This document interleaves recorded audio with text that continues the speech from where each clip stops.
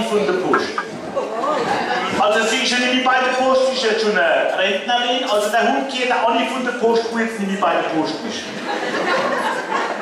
Will er die Geschichte von dem, von dem Hund, von, dem, von der Anni von der Post, nicht mehr bei der Post? Ich habe mal eine Note Also, der Mann von der Anni von der Post, wo nicht bei der Post ist, ist der Schlossermeister Ludwig Köbler, da vorne auf der Grätstraße.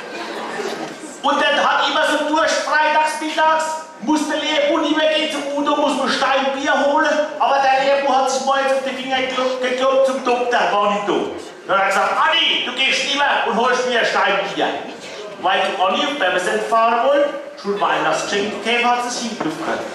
Ist sie mal gesagt, Udo, ich hätte gerne ein Steinbier. Dann hat er gefragt, hast du den Stein dabei? Hat sie gesagt, nee, weißt machen wir es gerade in der Hut. Jetzt ist aber nicht alles reingegangen. Dann hat er gesagt, weißt du was, Udo, machst mir den Rest gerade da oben rein. Ist er lieber. Zum Schluss aber ist der Ludwig Kümmler da. Hat er gefragt, Anni, ist das alles? Nee, hat sie gesagt, der Rest ist da unten drin.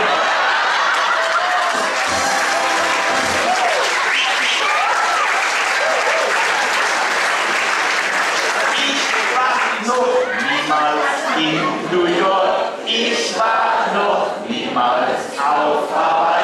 Ging nie durch San Francisco